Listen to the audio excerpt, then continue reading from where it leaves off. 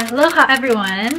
Welcome back to my channel. I'm so glad that you're watching me right now. So today we're gonna be talking about how to get a job here in Canada as a student for Filipinos.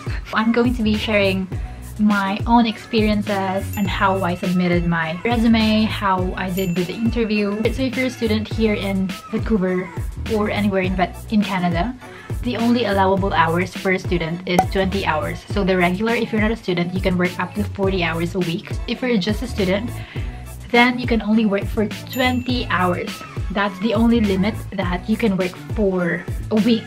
It's important that you make sure that you don't work in excess to 20 hours because you will have a problem in the future. Let me tell you how I got my work job here in Vancouver. So basically I arrived here in Canada April uh, last week of April and then on the first week all I did was I got all the necessary documents like my social security number. I went to my school to get my ID and other important stuff. So I didn't really thought about like applying for jobs because you need to have things like social security number and also your own bank account. So you have to process that first before you submit a resume or something like that so as a student you really can't expect to be working in a uh, like a clerical job. If in the Philippines you're working as accounting assistant, like a manager, it's totally different here in Canada. Since you're a student, you have to understand that you can't possibly have a job that's similar to what you have in the Philippines.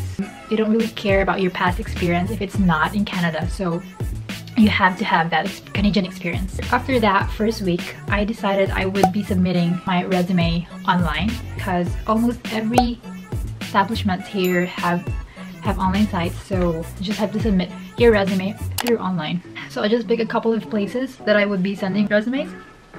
So I picked um, Starbucks, I did, I think I did try Tim Hortons or maybe not, I, I don't remember.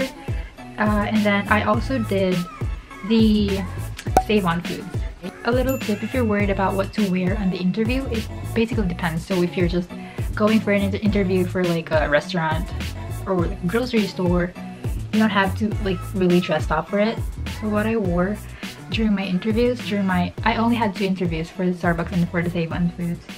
Um, for the Starbucks, I was just wearing um, blue jeans and I was wearing this blouse and a, what do you call that? Like a, it's kind of like a formal jacket but it's not but not really too formal. So yeah you don't have to wear you know like like pencil skirt or whatever it is that you wear on like corporate interview. So it's okay to be a little bit laid back when it comes to the interview on restaurants and you don't have to worry about stuff like that. You just have to be you but you know just don't wear shorts or anything too casual. I would say um, you know, pants is, is okay. So another tip is if you don't feel like submitting online, actually a lot of people have been recommending me to just pass my resume in store personally. So if I were you, if you're not comfortable uh, submitting your application online because you're not too sure if they're gonna receive it or, or what, just print out a couple of resumes, say 20 resumes, and you know, go door by door to different shops and just look for the manager like, hi, good morning. I'm looking for the manager or anyone who could accept my resume.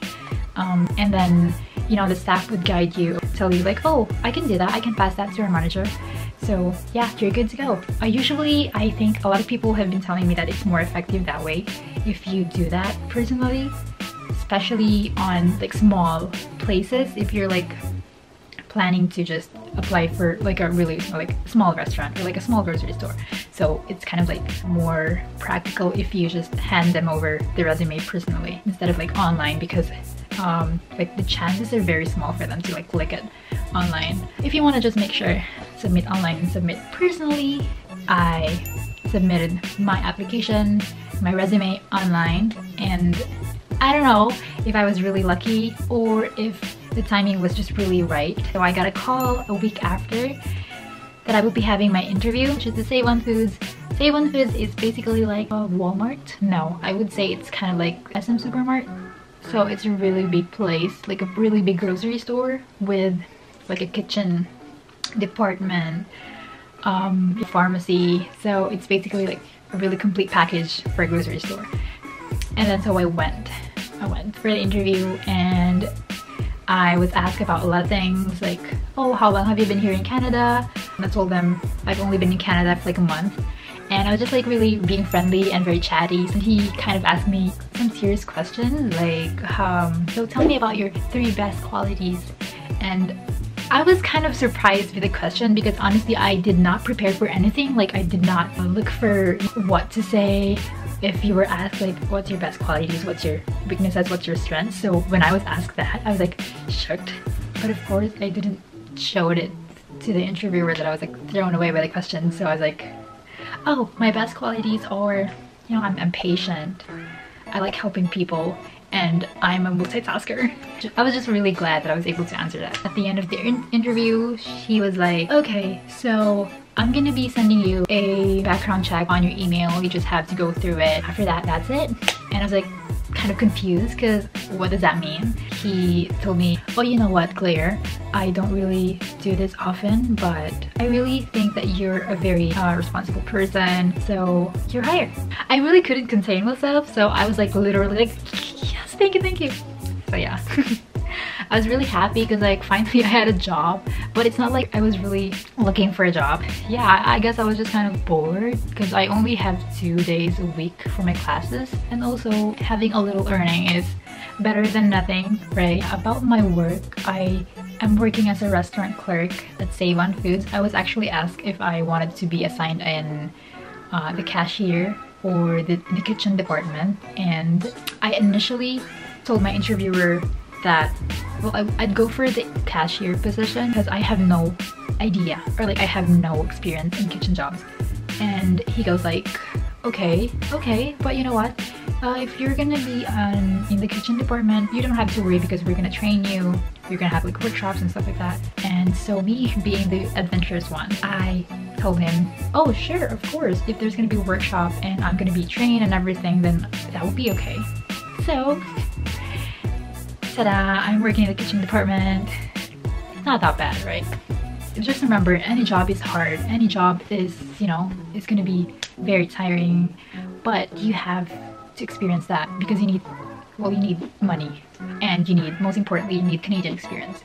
And you don't have to feel ashamed if you're thinking like, oh, in the Philippines, I'm working as a supervisor, but here I'm just working as, you know, like a dishwasher, like a janitor you don't really have to be worried about that because everyone has to go through the same thing with you. And, um, you know, the pay is pretty nice too. Just don't forget you only have to work 20 hours as a student. Even though I only have two days a week for classes, I still find it hard to balance my work and study period because there's a lot of homeworks, a lot of projects to make. So it's not really that easy to like make time for everything that you want to do. If you still don't have work, for the meantime, that's fine. Enjoy your free time because once you have a work already, you're gonna be a hell lot busy. If you guys want me to make a video about something, uh, just comment down below and I'll try to make a video about it. And for those of you who are processing their papers right now, good luck and just pray and hope for the best. And I hope for the best. And if you guys are um, planning to go here in Vancouver as a student, hit me up on any social media and we'll meet, okay? I love meeting people. I hope to see you guys on my next video. So please like this video, don't forget to subscribe. Since you're here already, please don't forget to subscribe. And I love you all so much.